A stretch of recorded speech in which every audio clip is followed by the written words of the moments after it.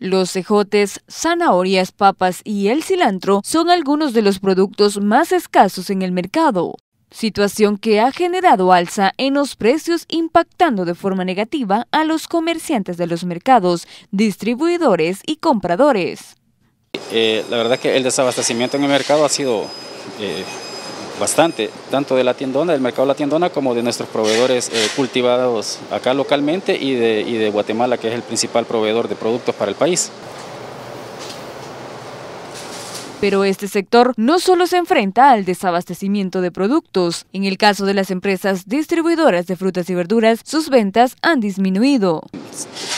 Con la entrada en cuarentena que decretó el gobierno, todos los restaurantes que nosotros atendíamos cerraron sus, puertas a, los clientes y nos tuvimos que innovar, siendo una empresa que tenemos 25 años de existencia en el mercado, innovamos para poder seguir eh, manteniendo a flote la, empresa y las fuentes de trabajo, razón por la cual eh, nos dedicamos al rubro de servicio a domicilio eh, en casas, que era algo que nosotros no estábamos haciendo.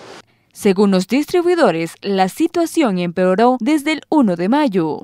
Esto debido a diferentes factores que mi criterio son incremento en los casos de COVID-19 debido a que los agricultores tienen miedo de contagios, medidas especiales de movilidad que se han implementado y restricciones en el ingreso de productos al mercado de mayoreo de la tiendona. Yo visualicé un desabastecimiento rotundo la mayoría de los puestos estaban cerrados, no había calidad, no había variedad, muchos precios estaban al doble y otros al triple. Si la escasez continúa en el principal centro de abastos del país, la población encontraría precios más elevados en los mercados y empresas dedicadas al servicio a domicilio los próximos días. Con imágenes de Ever Ábalos, Carla Goches, Noticiero Hechos.